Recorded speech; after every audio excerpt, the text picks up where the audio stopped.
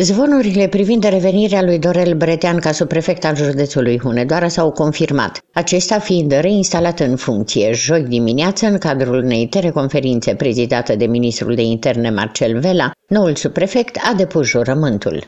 Jur să respect Constituția și legile țării și să fac cu bună credință tot ceea ce stă în puterile și priceperea mea pentru binele locuitorilor județului Hunedoara. Așa să-mi ajute Dumnezeu.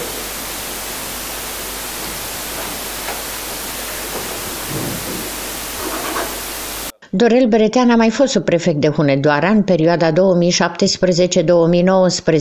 când a demisionat ca urmare a ieșirii ALDE, partid care l-a susținut pentru numirea în funcție, din coaliția de guvernare cu PSD.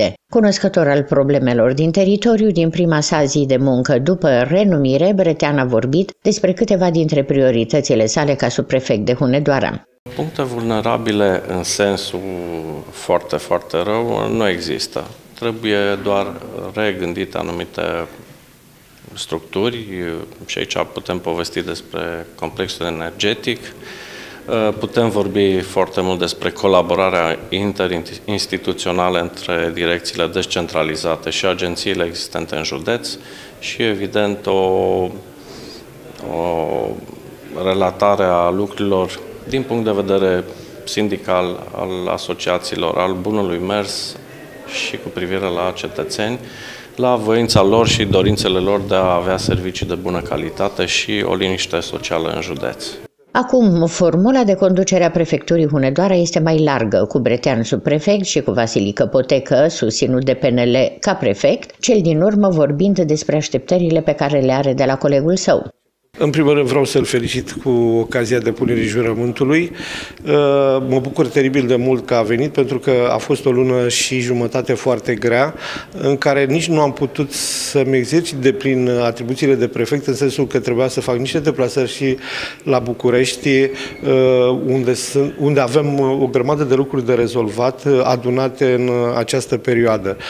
Așteptările mele de la domnul subprefect, uh, sunt destul de mari, în sensul că uh, i-am repartizat, sau este repartizat prin organigramă o grămadă de sarcini, uh, în primul rând interne de organizare în prefectură, se va ocupa probabil de legea 231 care modifică legea 18 a fondului funciar privind terenurile care aparțin de locuințe.